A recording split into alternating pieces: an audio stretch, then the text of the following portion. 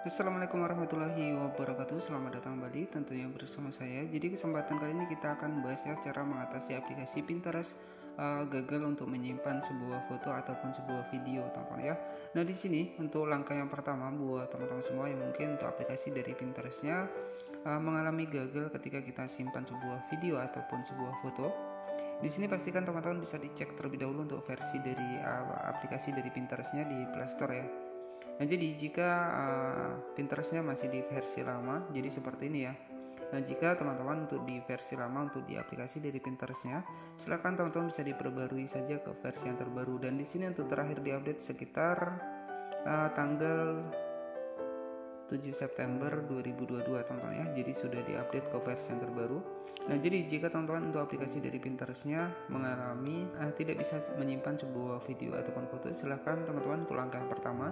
Teman-teman bisa diperbarui saja untuk aplikasinya ke versi yang terbaru. Oke, itu untuk trik yang pertama ya. Kemudian untuk trik yang kedua, teman-teman juga bisa langsung saja tekan untuk aplikasinya. Kemudian di sini kita pilih saja di bagian info aplikasi dan di sini teman-teman juga bisa lakukan yang namanya adalah paksa berhenti. Jadi fitur paksa berhenti ini akan menormalkan kembali untuk aplikasi dari Pinterest ini. Oke, kemudian di sini juga ada uh, fitur penyimpanan dan uh, penggunaan dan penyimpanan. Nah, di sini ada cas juga. Jadi untuk fitur dari cas ini adalah sampah dari aplikasinya, teman-teman ya. Jadi teman-teman bisa dihapus saja. Kemudian di sini juga ada fitur hapus data.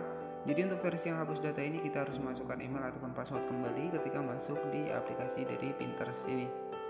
Oke ya, jadi cukup seperti itu saja untuk cara mengatasi aplikasi dari Pinterest yang mungkin tidak bisa menyimpan sebuah video ataupun foto.